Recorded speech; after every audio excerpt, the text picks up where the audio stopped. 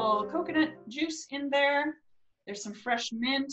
I wish I could give you all a virtual sample.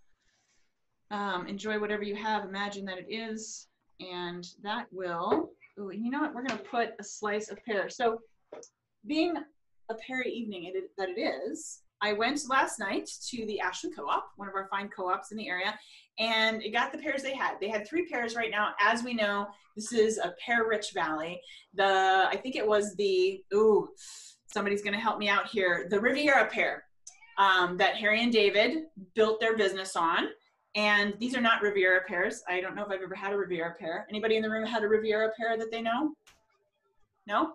No. All right, not yet. Uh, so this one is, and I'm gonna, it, it's spelled like abate, abate Fetel. I have a feeling it's abate Fetel, something fancy. Oh, so I don't know. Uh, but I got that one. And then there was this beautiful red Bartlett. Beautiful, looks like an apple. I picked this one on purpose because it has a little streak running down it, kind of a little rebel skin.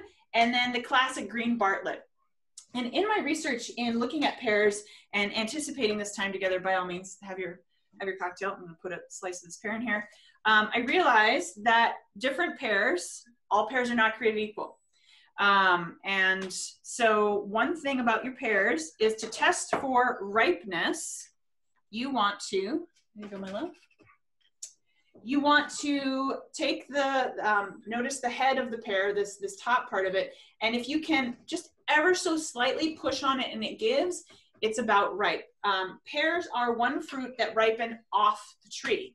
So I think that's interesting too. Not a lot of fruit necessarily does that. When it's, if it ripens off the tree, that means you want to pick it before it's ripe and then let it ripen uh, room temperature on your counter, what have you. Ripening is definitely part of connection. Ripening is letting things come to fruition. Oh, that was beautiful. it's all about, that's right. It's all about looking at how something is ripening, how it's developing, and where you want it. Do you want to pick it early so then it ripens closer to home? Do you want to leave it on the tree so you pick it at the moment you want to eat it and those wonderful juices go down your chin? Whatever that might be, connect with your pair and your fine self. Let's toast this fine valley in the Rogue Valley, fine evening, with whatever you've got. Cheers. Thanks for being here for a very, very entertaining evening. I'm Ginger, your host, brought to you by the fabulous staff at Jackson County Library Services. Boom, boom, boom. I feel like there should be a soundtrack to this. Oh, my studio audience is going to start uh, rapping. I'm not going to attempt that. I'd love to sing, but I got nothing right now. So, Are there any pair songs with the word pair in them? Mm, I bet there are, and I bet we can look that up. As in P E A R too, right, Carrie? Correct. Yeah. Yes. Yep. Yep. there's, there's probably a lot with the P A I R, and then there's P A R E as in the knife. Are there other pairs? P A I R. P A I R? Yeah. Yeah? P E P A I R. P A R. Yes. It's hard to No, yes. It's Friday night. Give yourselves a break. I'm gonna taste this. This is pretty darn good combination. Mhm. I haven't done this before. The basic organic pear juice, fresh mint. Mmm, smell it? Mmm, yeah, right? Mmm. And the uh, the pulpy coconut water. So uh, there's that first one. Mm. Mm. Note, the juice as I call it, the lessons, don't get hydrated when you're cooking or connecting because that's a bummer. You can get a headache and then it kind of blows everything. So the first book I want to feature is this one. Would you hold that up to the the uh, hold it up to the camera? Go ahead and stand up. Stand up? Okay. Yeah, this is called Pears. There it is. And I got a bunch of books from our fine library because, of course, here we are celebrating the library on this Pear-y entertaining evening. This one's here, Pears, a country garden cookbook. You'll get the list. And I really found, I've never seen this book before. I really found this one of value. And here's three reasons why. It helps me connect with what pears are, meaning we take them for granted, quite frankly, especially where we live. And no matter where you live, pears can be a really common fruit. The common things are often the ones we take for granted, like our library. Library love is coming at you huge here's the only warning because I'm a lifelong library lover, patron. I don't like the word user. I like patron better. That feels that feels better. Uh, and I remember as far back as I can remember, as a little girl, I remember going to the library. I remember my mom and my sister and I walking down to the library where I lived in Minnesota and going and getting books and coming home with stacks of books. And the stacks of books, if you think about what books you got when, when you were a little kid, what were those stacks of books that you got? Picture books. Okay, picture books. What else? I was all about the Roald Dahl books. Ah. Oh, Roald Dahl, Hardy Boys. Yeah. You pick The books. stack was always large. Yes, it was always, right? There's yeah, you had you probably limited out. Mine were the Peanuts comic books. I remember stacks of those. I have one over on one of my bookshelves because I loved it so much. My mom and dad got me one. And so um, I really I connected with this book because it helps me remind it helps remind me not to take things for granted. And while we've had this lockdown, while our library was closed to reconsider and be thoughtful and not be part of the problem, it was the number one thing I was missing. It's like, wow, it's a connection to the world, a library. It's so, whoa, when you think about it, it's crazy. It's free, it's our tax dollars at work, one of the best possible uses. I don't know about you, but I can't imagine not being able to read and not having access to books. Put a fork in me, I'm done, if that's the case. wow, we are so fortunate to have libraries. So support your library, whatever that looks like for you. You can volunteer, you can donate, just find give a call, find out what your library needs, wants, what you can do for your library. You know the quote. Ask not what your library can do for you, but what you can do for your library. Yes, I'll drink to that. Absolutely. So this book, The Pears, a Country Garden Cookbook, really a great book. I highly recommend you checking it out. One of the reasons of the many is it's got illustrated pears, of course, as it should, and all these different breeds. I had I had no idea. I'm not a pear farmer. Maybe you are. Um, and it gives different attributes and when it grows and where it grows around the country. And I'm a pushover for great pictures, and it's got really nice pictures. Uh, and the recipes, pretty darn solid. We used one as an inspiration. We made wontons last week. Like wontons? Anybody like wontons? Yes. Yeah, wontons are fun. You can make a phenomenal filling with wontons if you wanted to. If you want wontoned to. Okay, that's bad. if you wanted to, you could put pear filling in there. In fact, this one, the sausage and pear wontons. I'm out of out of wrappers. I, I couldn't wait. Sorry. Um, it's got shallots and Asian pears, olive oil, sausage, fennel. It's, oh, it looks so good. We'll do this again, my friends. Check out this book, Pears, a Country Garden Cookbook from the Jackson County Library. Fantastic, really simple. That is also what a great connection is. A great connection is simple. There is simplicity to it. It is not overly complex. Depth is different than complexity, my friends. So you can have something that's really deep and meaningful. It still doesn't have to be complex. There's a full moon tonight, the night we're filming this. The full moon is really simple. It's amazing. It's so beautiful. I hope you go out and look at it whenever the next full moon is. If you're watching tonight, part of this Barry, uh, Pear-y entertaining evening with us at Jackson County Library, brought to you by the fine folks there. Appreciate the simple things. Great connections are simple. My fine studio audience, Mary Lynn, my neighbor, it's a simple relationship. Simple doesn't mean stupid. It doesn't mean that it's less than. It doesn't mean that anything's not possible. It means that it starts simply and easily, just like a beautiful pear growing on the tree. There you go. Take a sip to that. Make yourself a drink. Help yourself to anything you want to serve yourself. We're going to feature a couple other recipes tonight besides this made up cocktail. And that's the great thing about beverages. They're very flexible, just like good connections. There's what I call a nimbility to it. It's flexible, it's elastic. I think of it as an accordion. It comes and goes, it grows, and sometimes stays the same, but we can expand and contract that. I'm excited to experiment with some more pear juice. And we're gonna also make mm, so many choices. This is the only hard part for those of you who love to cook and love to eat. The only part hard part is choosing. One way I would enhance this beverage is something else we have a lot of in the valley is cherries. In fact, Mary Lynn has a cherry tree in her backyard. and one that comes over her side fence right down the road. And we end up harvesting cherries. If you do too, I'd love to know in the chat what you use your cherries for. One thing we decided to make a couple years ago was maraschino cherries. Now, they're a lot simpler, there's that word again, than most people realize. Have you had homemade maraschino No. cherries? I'm very excited. She's wringing her hands, folks. They're good. Maraschino cherries are very simple. They are not naturally glowing like something that is uh, perhaps nuclear reactor oriented. They are very simple. They're very tasty. We made brandied cherries the first year we made them, and maraschino cherries. I'm gonna load you up, Marilyn, because they're so good. And I'm gonna put a little bit of the juice in your cocktail. Beautiful. Ooh, yay. So pretty, so Yeah. simple, and what a great use of cherries. So you only have to watch out for the pits. I have yet to find a pitter that is uh, ironclad in getting all the pits out. So watch your teeth. That's a great thing about pears.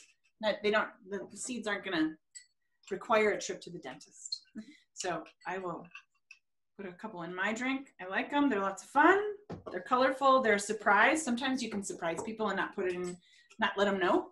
It's a good surprise.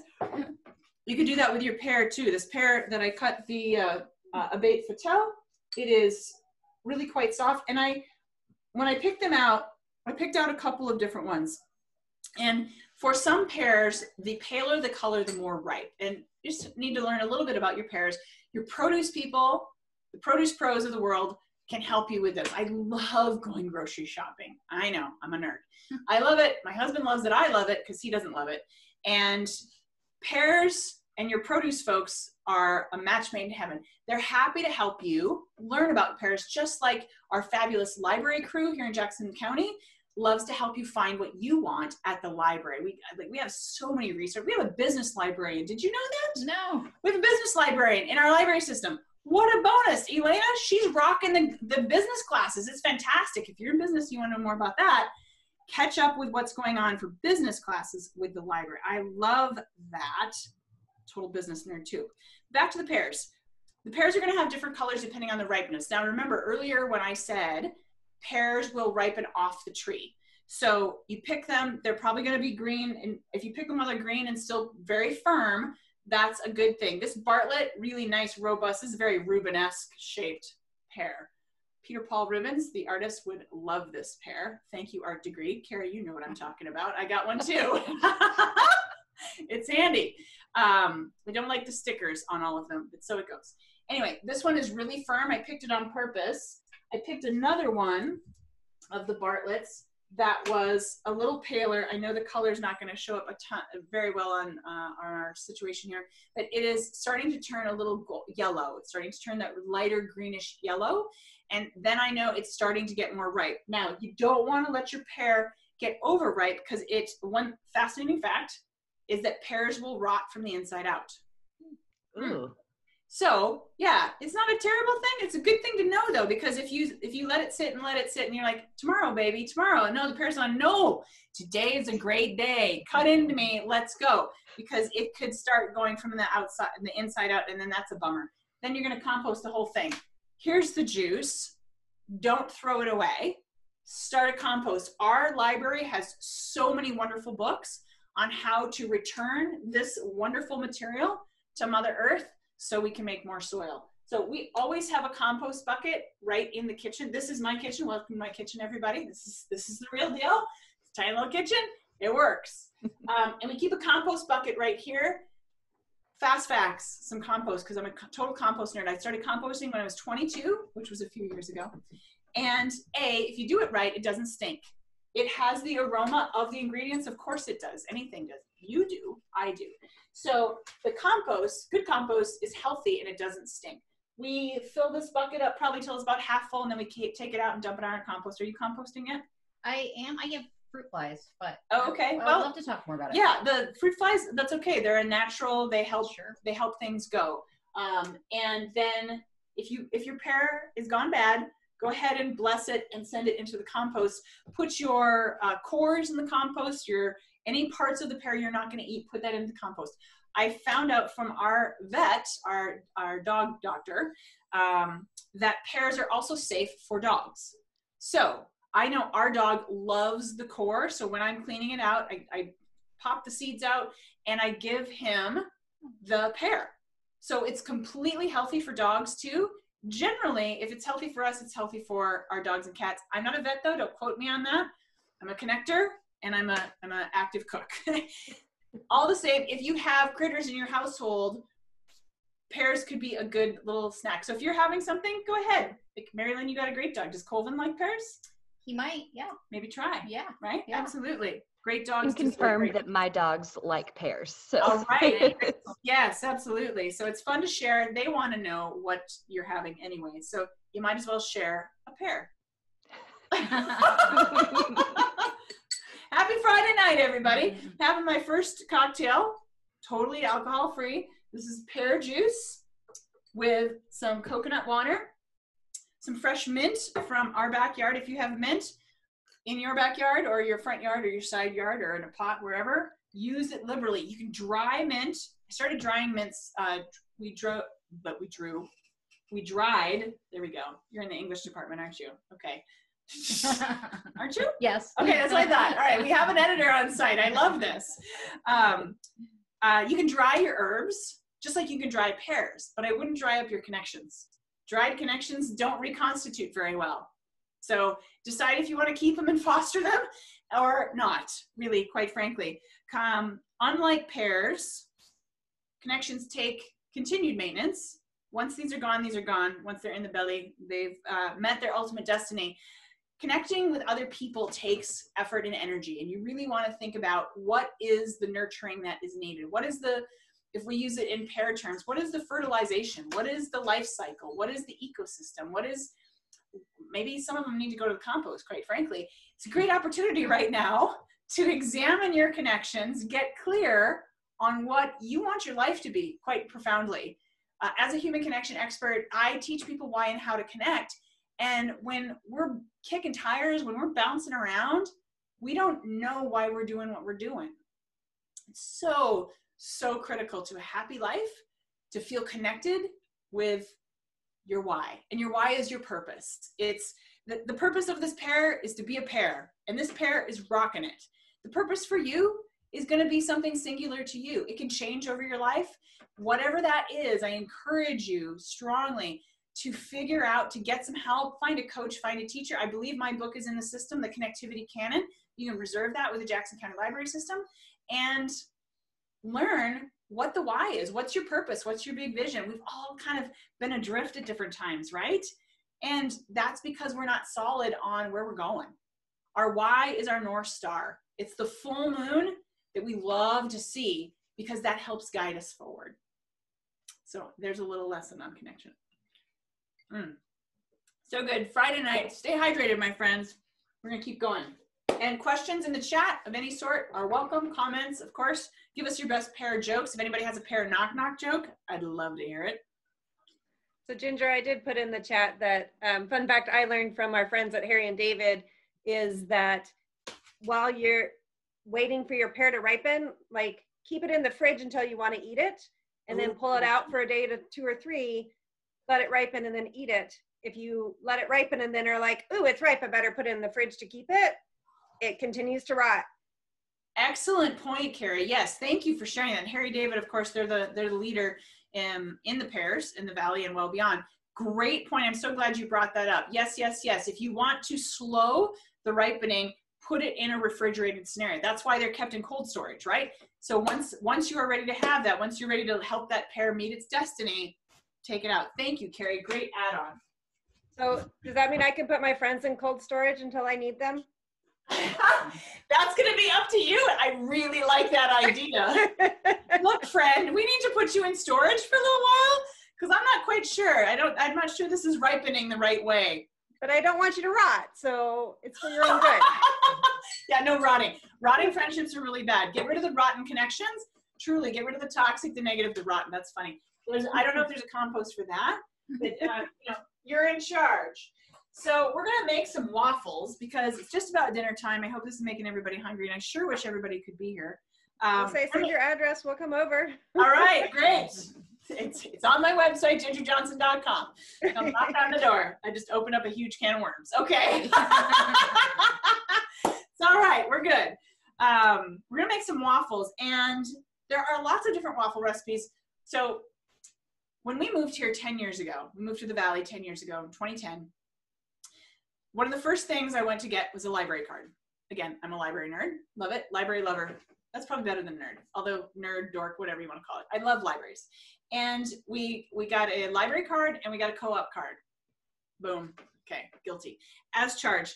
And I started visiting the food section. And we happened to live in Ashland at the time. And the food section in the Ashland library is pretty robust. I live in Talent right now. It's it's solid there too. And I, I love to take a food section tour of all 15 branches. Maybe I'll do that. Um, and there's so many great books that you can use. One way I love to utilize the library is to check out the food books to see if I want to buy it. So the library provides the preview. I noticed on all the checkout cards, this is brilliant. I don't know who came up with it. It's on my, my receipts in the other room. It's got, you've saved $582. Like, no lie. My, I'm a compulsive checker outer. And that's why we want the libraries here to use, to utilize it. Get in there, and be a patron, reserve, go patronize. You can still do it right now. You can do front door service. I've been doing that. Um, I want to say her name is Emily at the talent branch. Help me out. And uh, you save money while at the same time keeping the money that runs the libraries in our county. I mean, it's a really interesting model when you think about libraries. They're absolutely a business. They are, it doesn't matter if they're for profit or nonprofit, they're still a business.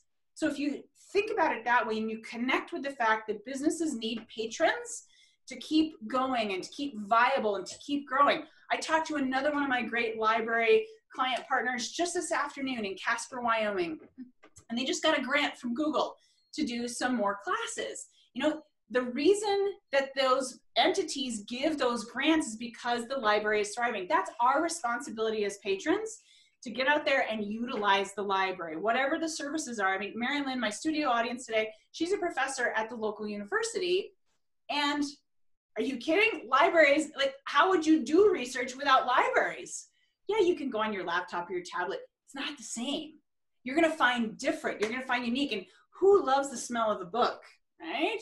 Woo, guilty is charged.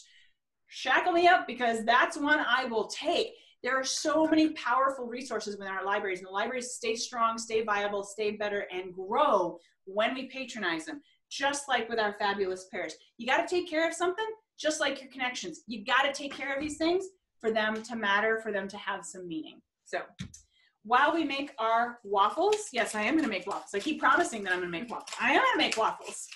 And while we are waiting for the waffle iron, it's heating up now, so we've made some progress. I um, when I was shopping for the supplies, Marilyn just gave me the eyebrow. Um, I have chocolate here in front of me, so there you go. Carrie May, I know you're on your way over. Um, when I was shopping last night, I realized I've never really thought about pears this much. and as a very avid cook, go ahead, take one. Thank you.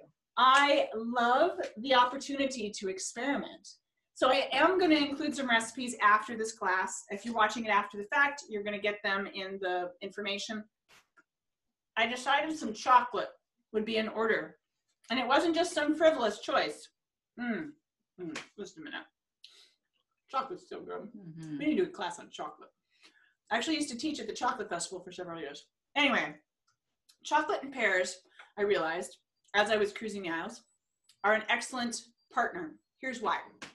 Chocolate, mmm, that's lovely. Chocolate comes in so many different varieties, just like pears, that you're gonna find a really nice complement in your foods. That is one big lesson I wanna leave you with today. When you are pairing complementarily, I hope that's a word. Okay, it is now. if it's not, it is now. When you are looking to pair things so they complement each other, you want to focus on intensity having given literally hundreds of beverage and food tastings myself, in addition to hundreds of dinner parties, yes, I'm that down the rabbit hole with this. Uh, I've learned that intensity is a big key. The other member in my studio audience is my fine husband, who I adore. he's a professional brewer. I've learned to pair beer with the best of them. And so whatever you're pairing, whether it's coconut juice or pear juice or or milk or kefir, it doesn't matter. Matching intensity is what really kicks it off. It's why it's why we love peanut butter and jelly because the salty character of the peanuts and that that umami value goes really nicely with the sweetness and just the the the fruit flavor of a jelly. And that bread, mm, that bread couldn't be happier, my friends. Like talk about great destiny. Bread is so dang happy. So, um, and speaking of bread, I'm gonna make the waffles now. I'm not just gonna promise them. So, you have any questions or comments, stories about pears? Put them in there. I like to use a scale for measuring. And I started doing that because when we moved to the valley 10 years ago, there's a higher elevation than where I came from. And we had a habit of making muffin Sundays. So we made muffins every Sunday. And the first month we were here, the first four weeks, my muffins didn't rise. And I was starting to get, frankly, quite frustrated. I'll say that. That's the family version. And I thought, what on earth is going on? Why isn't this working? Well, I wasn't factoring in elevation. And so you can take a scoop and you can get a scoop, but it's not going to be the same as the weight. So I've started to use a scale, I'm starting to really pay attention to the detail and uh, especially when there's chemistry involved, like baking, like these waffles that I am in the process of finally making. Um, and I'm making the waffles because we're gonna do some shaved chocolate and fresh pears on them. You can do, it, right? Does that sound good? Okay. Um, there's also a couple recipes in here as well as the canning books. I have a whole stack. I'm not sure how many you can see, but I've got I must have checked out probably 15 or 20 books for research. This is great. I love this. One of the books the library also has is called Canning for a New Generation. It happens to be one in my personal library too, so I was really thrilled that you had it. I've cooked a bunch from this fabulous book. It'll be in a list, uh, Cooking for a New Generation. I love this one, and one recipe I made from it was the amaretto pear sauce. Oh, baby, welcome to Friday night. This is great. Welcome to Tuesday morning if you're watching it then. Doesn't matter.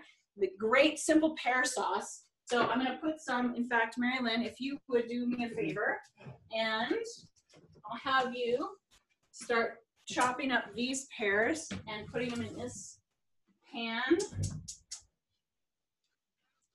There we go. We'll put a little pear juice in there to start. Go ahead and chop those up. Yep, Mary Lynn's wash your hands first. That's good. So waffles and pancakes, bread, pasta, rice. They are such tremendous vehicles for all kinds of good things. Pears love waffles, my friends. I'm here to tell you, they were talking to me this afternoon. They said, We want waffles. I said, What? Well, waffles. I said, Okay, you got it.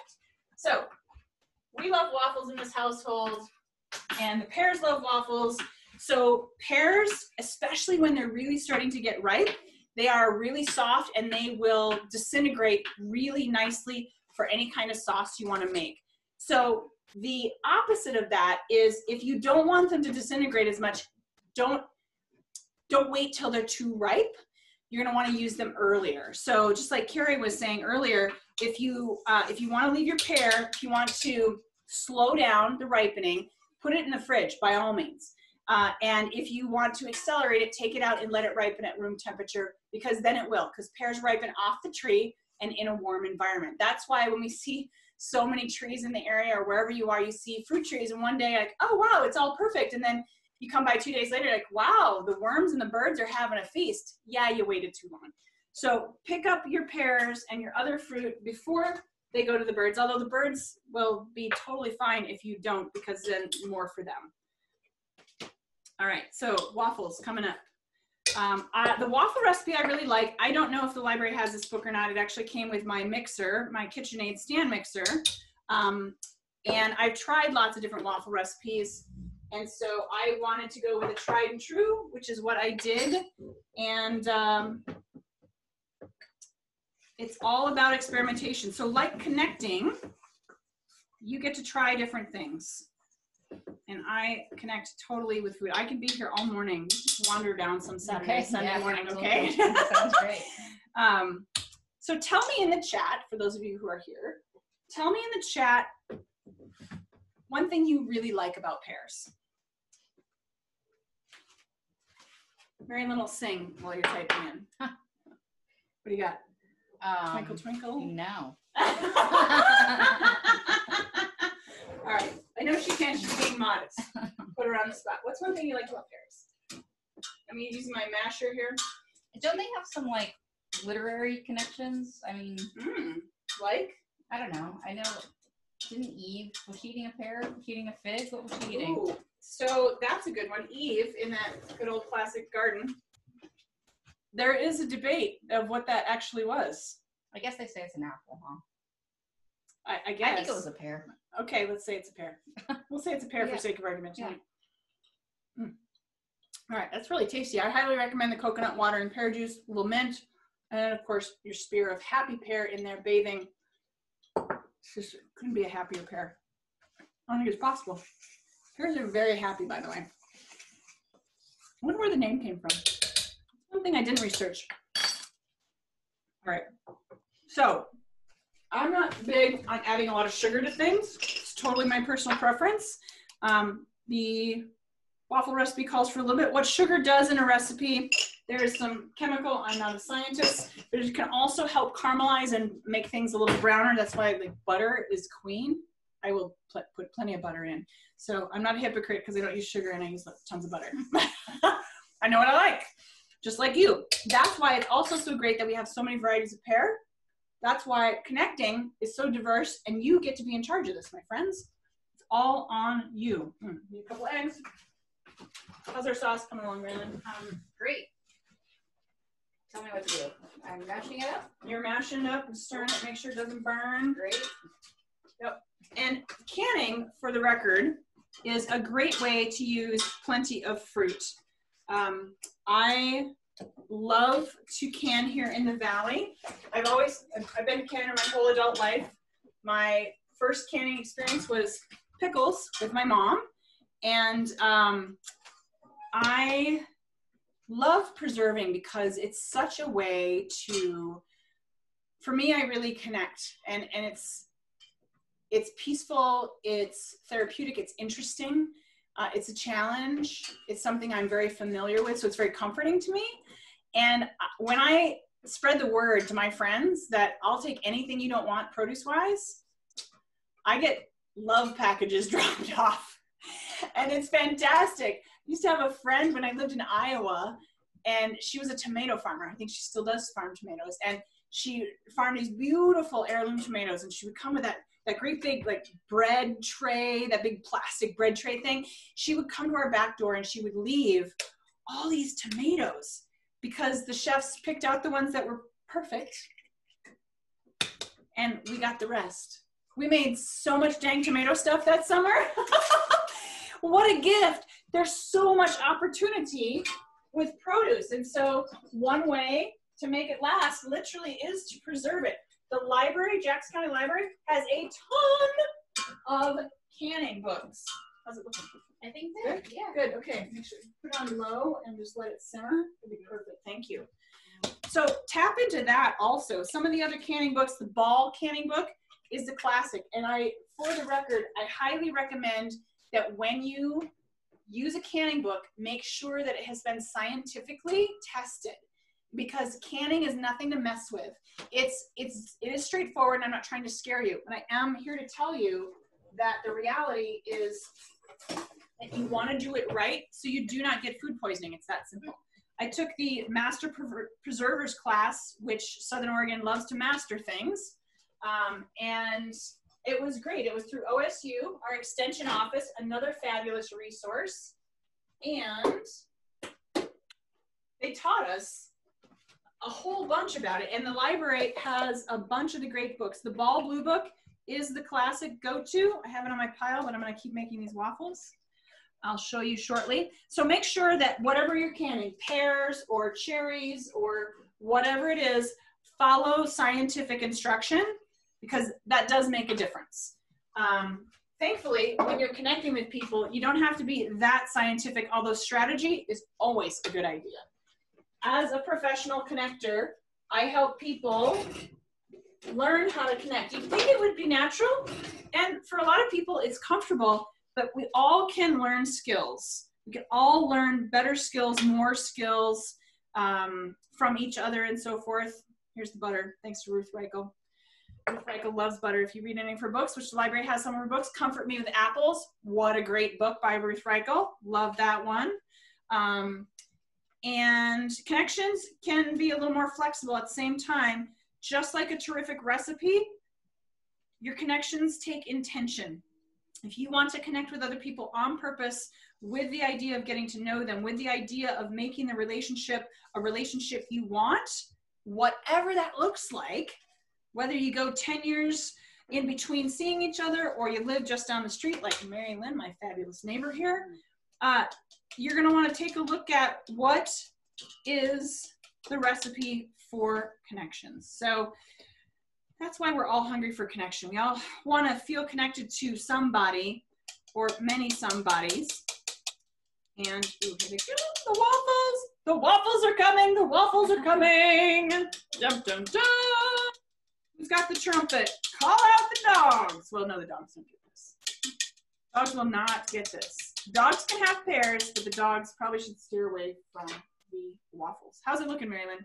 It's good. Okay, great. Then low and simmering. You just let it sit there and be happy.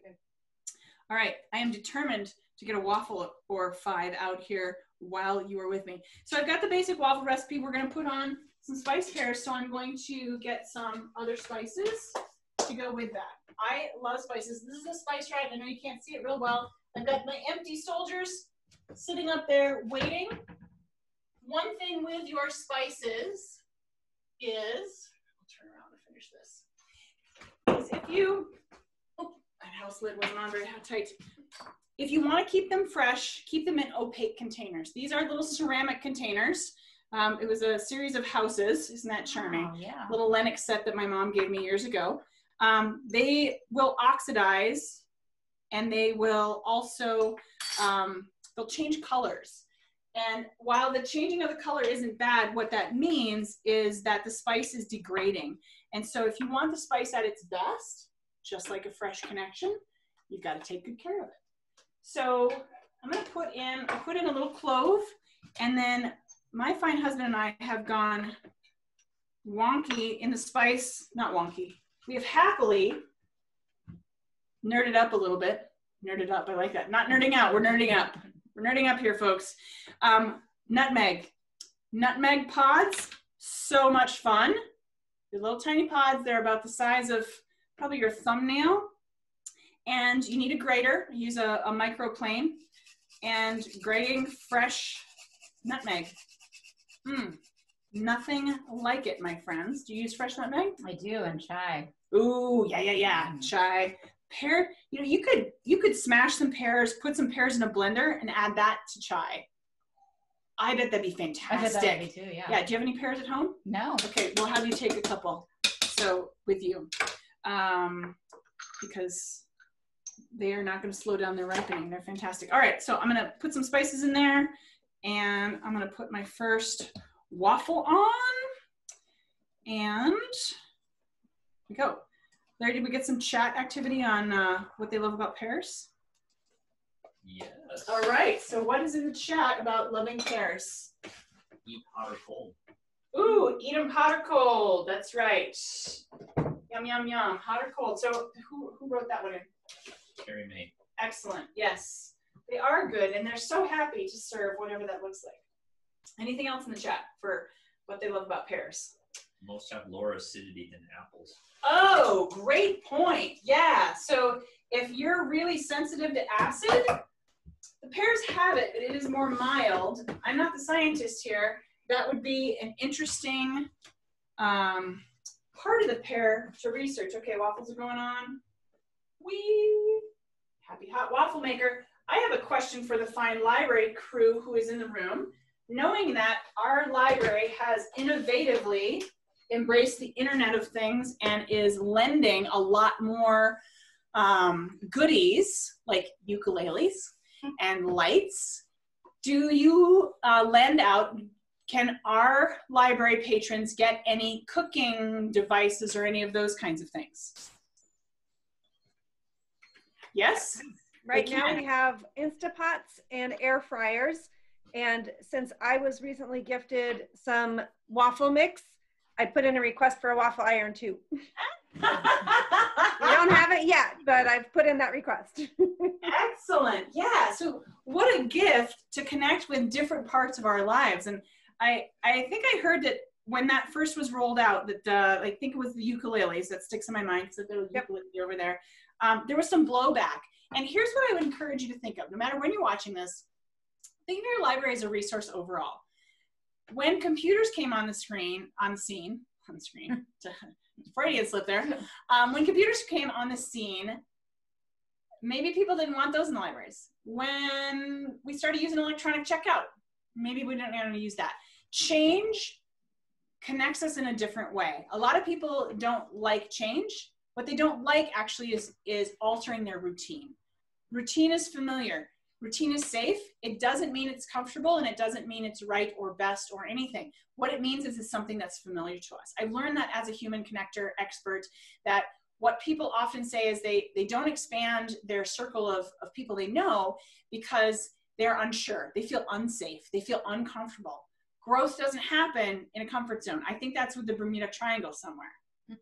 You've got to pay attention to where growth happens. Growth happens in the library. You pick up a new book and you step into a whole new world and think whoa oh and you have that private experience which makes it safer I would encourage you to do that with your connections.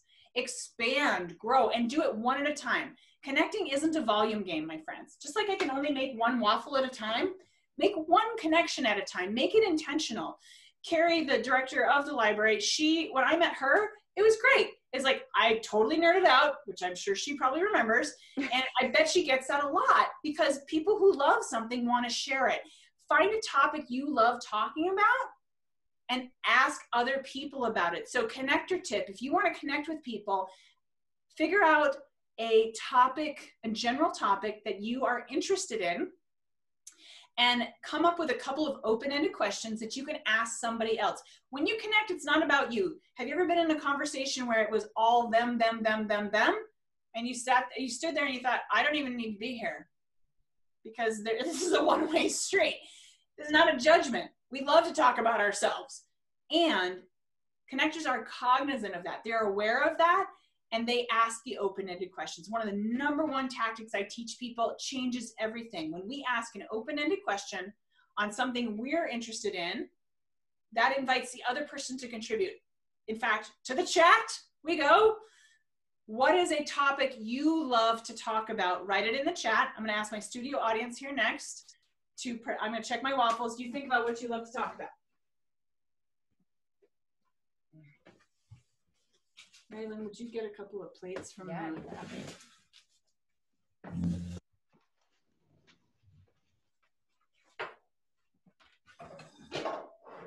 All right, Larry. What uh, we're gonna start with Larry. He's off screen. He's the studio audience. He's helping on the uh, backside of the tech with this. Larry, what do you love to talk about? Beer. Oh, he loves to talk about beer. He's a professional. Full disclosure. Mary Lynn, what do you love to talk about? Teaching. Teaching. Great. Everybody's got teacher stories, teaching stories, student stories. These are terrific. Um, what is the chat? What else does the chat say, Larry? Books. Books. Times What? Come on, fish in a barrel, people. Of course, we love to talk about books. Yes, absolutely. So Texas. a couple Texas. of, and these are all what's that? Texas. Texas, yes. Don't mess with Texas. Texas is beautiful. Um, couple of great to- books. What a fantastic topic. And you could even expand that larger into reading because that's something that a lot of people they read in all kinds of different ways, all the different kinds of platforms and modalities. So you could expand it if you know. You, you could certainly start with books. I mean, you can start with whatever you want. It's your topic. You love it. That's great. Um, I find that what are you reading lately is a terrific opener. And you know, whether it's the back of the the pear juice bottle, or it's a book, or it's online, or whatever it is, people are definitely interested in sharing what they've read. A follow-up question that is phenomenal for connecting is what do you like about it? So you could say, What are you reading right now, Marilyn? And Marilyn would say, Refuge by Terry Tempest Williams. Refuge by, slow that down, Terry Tempest Williams. Terry Tempest Williams. I don't know if our library has that or not. I don't know. And then both Carrie and I were like, "Oh, we love that book." Okay, so that's a yes. Probably. And then I could say, well, what do you like? What do you like about that book? What do you what's the value? Why are you enjoying it? Oh, conversation is often running, and that's what connection is. Mm, it's the taste of where it can go. Boy, this is so much fun. Okay, first waffle is ready. Whee! Oh my gosh, it's beautiful. I'm telling you, people, having done hundreds of these on camera, it is not a guarantee that your food is going to come out looking like what you want it to look like. And this one does. Beautiful, hot, steamy waffle. Smells so good. Oh, yeah, it's all yours, Marilyn. And what we're going to do is we're going to put some of this pear sauce that's been simmering really simple. You can, pear is a wonderfully flexible fruit. So you can put it in sweet, you can put it in savory, you can, of course, the pear loves it when you just eat it by itself. Uh, spices, it's very accommodating. I mean, imagine this pear sauce mixed in with some jasmine rice. Super simple, maybe topped with a little cilantro.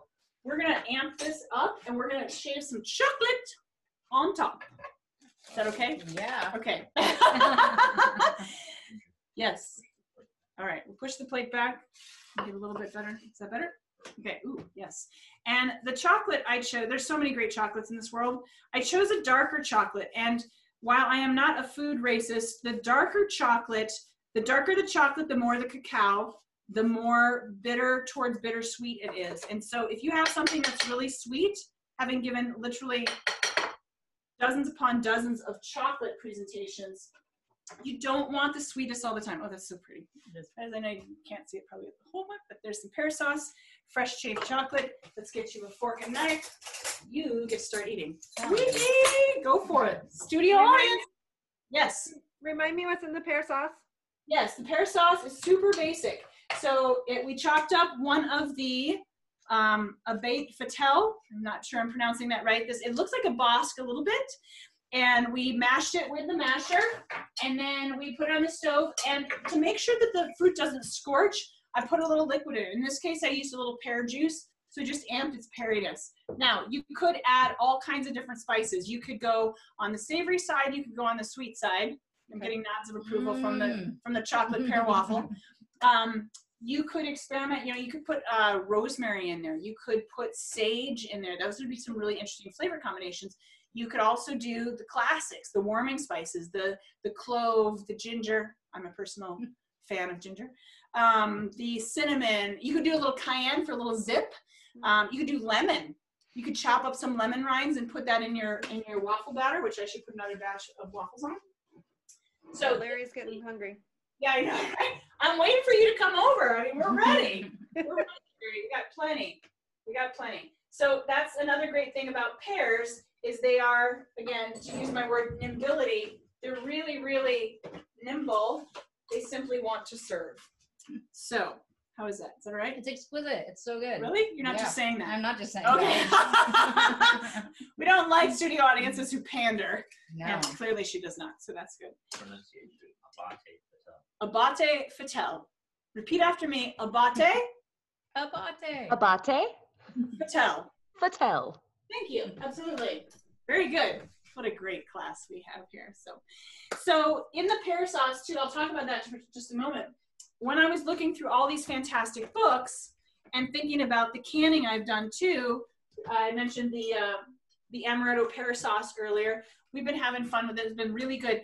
I would amp up the amaretto. You could use if you don't want alcohol in there. It, it probably mostly cooked off because alcohol has a lot of volatiles to it, which means that they evaporate with uh, heat application. Not all gone, but a lot of it goes away. You could use almond extract. You could use.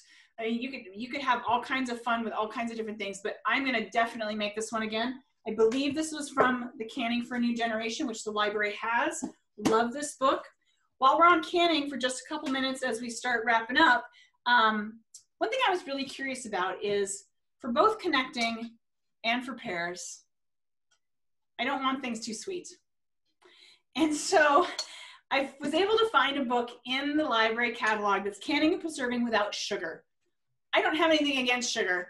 I just we just don't need as much and we don't need as much processed sugar.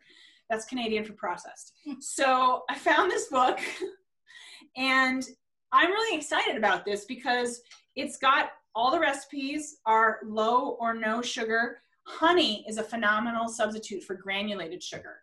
Generally, rule of thumb, look it up in your own recipes, but generally, rule of thumb is half the amount of honey to the total amount of granulated sugar.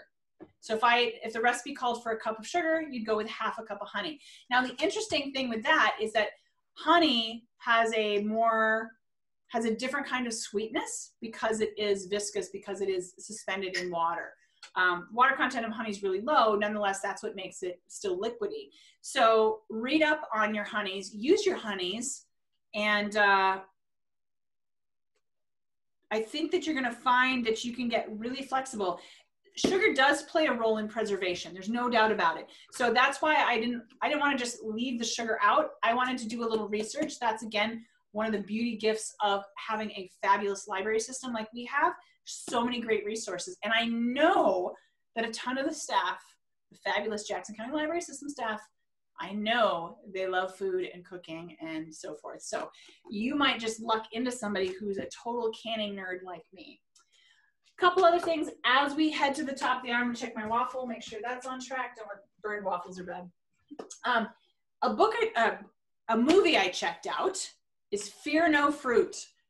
And this is all about Frieda Caplan. And if the name Frieda is meaning anything to you, it's because she pioneered the exotic fruits. The, this was a really fun documentary. I think it was about 90 minutes long. She brought the kiwi to America. And then she brought hundreds of other ones. It's dragon fruit and Buddha's hand and spiny lemons. And you watch this and it was so fantastic. So whatever fruit you love, like find out about it. It's so much fun to learn. That's the gift of the library. It's the gift of knowledge that we can apply in our lives. I'm so freaking grateful for the library. I'm grateful for pears. I'm grateful for connecting. And I love hearing about people like Frieda who pioneered this. It took her like three or four months. I don't remember exactly, but it took her three or four months to sell like 60 cases of kiwi because nobody nobody knew what this brown fuzzy thing was. Fun fact: before she renamed it kiwi at the suggestion of one of her colleagues, it was called the Chinese gooseberry. So there you go. You're welcome. Um, really fun DVD to get from the library. Again, another great resource, uh, another great reason to patronize. I would be remiss if I didn't tell you one other great tidbit about the Jackson County Library System is when you have a patron card in good standing, you can get free movies on Hoopla, which is one of the extended services that the library offers. I've never heard of that before we moved here. Did you know this? No. Hoopla, H O O P L A, it's a library's worth of movies and and films TV and TV shows. Oh my gosh, we can't get enough. We don't hardly watch network television. We get the hoopla. So much fun. So much fun. So um, there you can get the movies. This is a preserving with friends, an easy step-by-step guide. So many things. There's so many ways to use pear. I've got a vinegar book. I've got fermented foods. There's so many ways to use, and there's so many great pears out there. We decided not to plant a pear tree in our yard because we know there are so many pears around the valley. We're going to tap into what already is. Do whatever you want with your pears, Enjoy them fully. Take good care of them. Learn on them. Connecting with other people one at a time, just like one pear at a time, is so much fun when you learn how to do it. When you learn how to enjoy it, it's no longer a chore, it's a joy. Thank you so much for joining us on this very entertaining episode. My name is Ginger. I'm a human connection expert. I've done a few cooking and food demos too. We're so glad you're here. We're going to wind it up. If, if you have any questions for me, by the way, you can go to gingerjohnson.com. Happy to help out with whatever your pear questions are. I'll direct you probably somewhere else, but we can start there.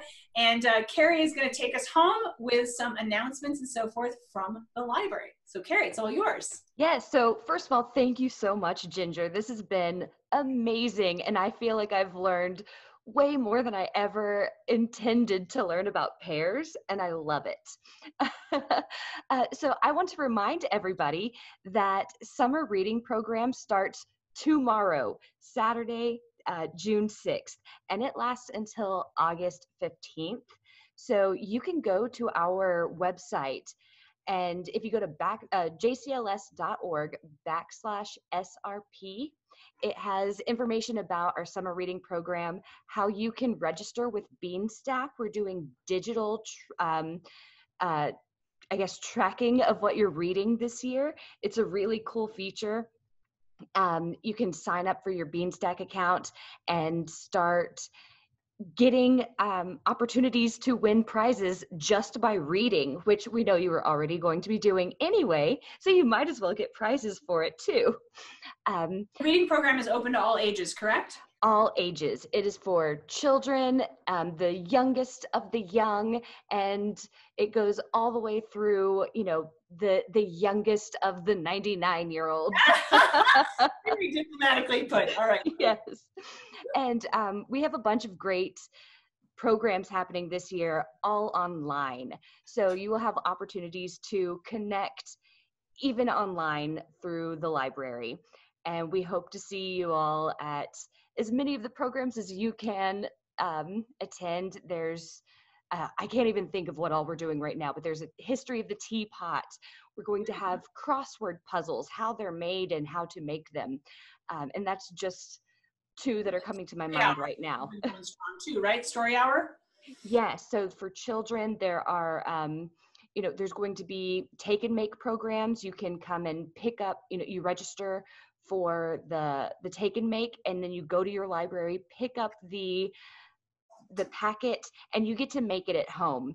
Uh, so I encourage everyone to look at our public events calendar so you can see all of the great stuff that's going on.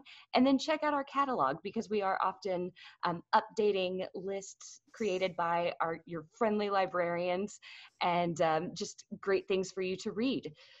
Absolutely. Well, thank you so much. Thank you. Support your local library, support your local pear grower. Keep connecting, take care, and keep reading. Cheers.